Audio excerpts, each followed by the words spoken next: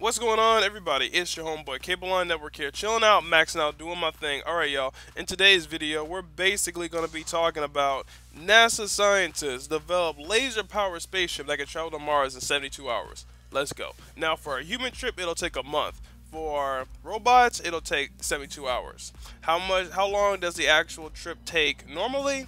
I actually don't know. I believe it takes um I think it takes a month now just just to send a robot over there. I believe so. Anyway, NASA scientists working on perfecting laser technology that could propel a light spacecraft to Mars in as little as three days. In order for the spacecraft to achieve faster speeds, the technology is using electromagnetic propulsion systems that use light and radiation rather than current fuel-based rocket propulsion system. Now it's about time that we finally got into the era where they're actually using actual energy powered anything. Like a lot of the technology we have now in weaponry almost anything is basically combustible. Like think about it. How do you light a stove?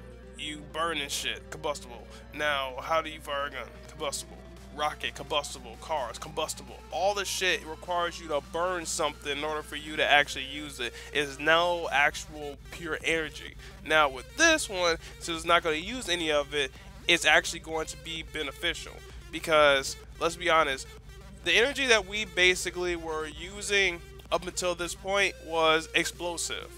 It wasn't anything that was controlled. It was basically a big ass explosion. Now that this can be controlled, we can actually use the energy to its best potential, we can actually, uh, I don't know, advance a little bit further in society. I mean, hey, there's a lot of things going wrong here, but at least it got some cool technology coming up. Now, the system will currently work best with robotic spacecrafts. A robotic probe with a thin reflective sail could travel to Mars in three days. On the other hand, a manned shuttle could reach Mars in a month using the laser-based system. Now, the estimates that the lasers could accelerate spacecrafts to 30% the speed of light, which was previously unheard of. 30% the speed of light. Holy shit. That's awesome. Using photonic propulsion, interstellar travel may be possible, and sending a probe to Earth's closest star, Alpha Centauri, could take as little as 15 years.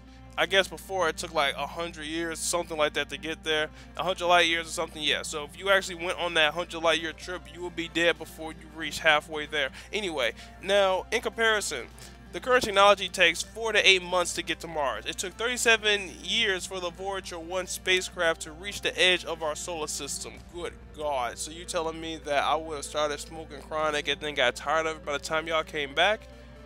Oh no, we definitely need some new energy systems here.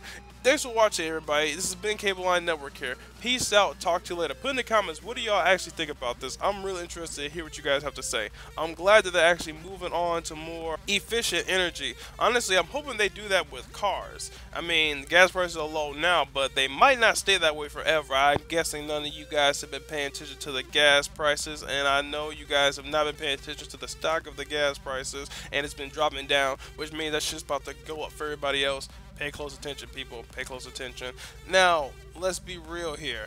Us being able to travel 30% the speed of light, that's insane. Now, that's truly a technological breakthrough right there. That is. That's about as technological breakthrough as when we first were able to break the damn atmosphere. Guys, put in the comments, what do y'all think about this? Once again, I want to hear what you guys have to say. Now, let's be honest here. I know a lot of people are going to ask, why are you so interested with this new type of energy source? Because, bitch, when I destroy the world, this is going to be my energy source. Ha ha ha ha. Alright, thanks again for watching. Once again, make sure to like, comment, subscribe for more. I keep you updated with everything happening with the gaming community as well as the space community.